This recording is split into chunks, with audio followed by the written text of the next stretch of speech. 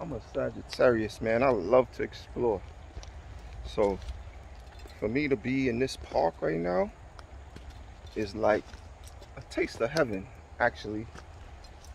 You know, it's peaceful.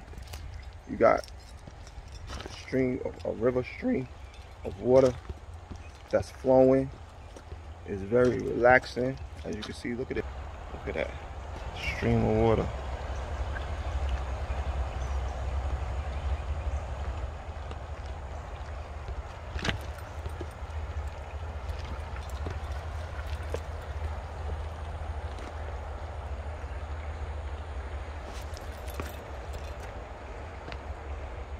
Little bridge right there.